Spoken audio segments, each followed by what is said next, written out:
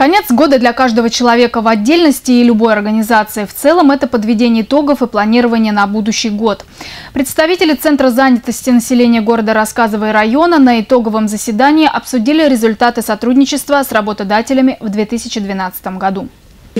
Последняя неделя, она очень загруженная. Есть очень много вопросов, проблем, задач, которые нужно решать в этом году, чтобы они остались на следующий год. Ну, Для того, чтобы успешно решать все проблемы, связанные с трудоустройством населения, с 1999 года в Центре занятости города Рассказово организован клуб работодателей. На протяжении 13 лет проводятся заседания, формат которых всегда был разным, но неизменно касался обеспечения работы населения. Сегодня мы э, проводим итоговое заседание Э, клуба работодателей, на которые мы подводим результаты работы, совместной работы за 2012 год.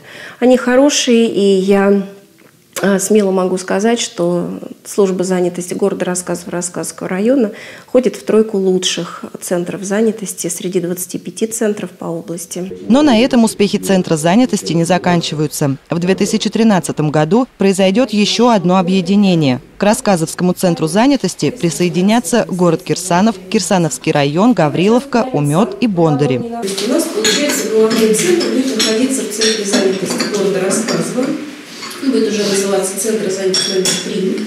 И, соответственно, все остальные э, муниципальные образования станут нашими отделами. Планы работы Центра занятости участникам клуба уже известны. Но все же темой последнего заседания в этом году остается подведение итогов уже проделанной работы, которая оказалась продуктивной и показала хороший результат. Вот в текущем году на, фактически на компании, в нашей компании было принято более 100 человек. Значит, э, эти люди у нас сейчас в настоящее время работают, работают хорошо. Значит, и, и кроме того, в связи с развитием и пуском еще одной новой линии э, пошивочного конвейера, мы еще, нам дополнительно требуется рабочая сила. Поэтому приглашаем э, в следующем году тех, кто хочет работать и зарабатывать, к нам на предприятие и продолжить работу у нас, в нашем дружном коллективе. Значит, нам сейчас вот в данный момент требуется швеи, где заработная плата от 20 тысяч рублей. И также требуются другие э, рабочие, рабочие, которые работают на конвейерной линии, на операциях именно на машинах. И что меня радует, вот помимо того, что сегодня наши бренды рассказовские стали уже известны не только на земле Тамбовской, но и в других областях, мы сегодня активно ведем переговоры с Москвой о том, чтобы сохранить торговые места на оптовых рынках, на ярмарках выходного дня, чтобы люди, торгующие нашим трикотажем, шерстяным изделием, не потеряли э, свои рабочие места и, соответственно, наши производители рассказывайте смогли э, наращивать объем производства.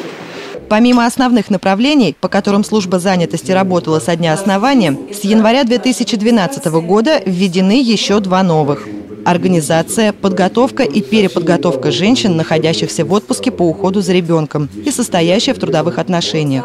Второе направление – это организация предпринимательской деятельности с выдачей субсидий на открытие собственного дела. Раньше эти направления определялись по программе дополнительных мероприятий, то есть финансирование осуществлялось из федерального бюджета, а после внесенных изменений – из областного.